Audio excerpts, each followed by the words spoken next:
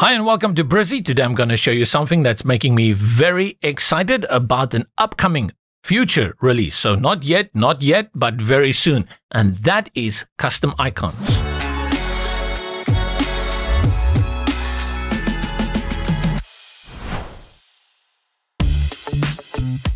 Now, this is a feature that I've requested, and I know many others have too. So, I really want to thank the development team for spending the time on this because I am in seventh heaven.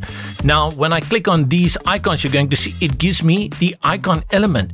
But if you know the standard icons, you're going to know that these do not appear there because they are custom elements. What does that mean? It means I uploaded them myself.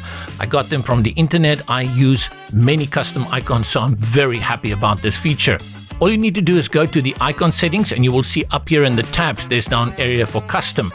Within this project, whether it's WordPress or Cloud, all the icons that I've uploaded will appear here. You can manage them, you can delete them, and you can bring in new. And the great thing is you can upload multiple icons, so I don't need to upload them one by one. Let's upload these three icons, and these are in SVG. And I'll switch this out with a mouse, and then let's do the same for this one. And we go to our custom icons. This is a swan, and the same for this. Once you have uploaded them to the custom library, you know exactly what to do with them.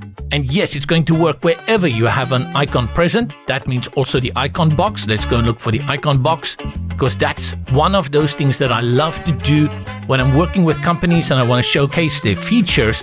I will often put the icon here for the feature that they are known for. Now I can upload those custom icons, giving them their special branding, especially if they're working with a website designer and I can put it there as a list feature.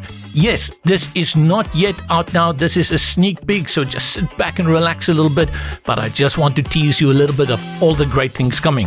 If you want to see more of these sneak peeks, remember to subscribe to YouTube because in the coming days I'm going to show you more of these features that will be rolling out soon soon for Brizy Cloud and Brizy WordPress. From me, JB, until the next sneak peek.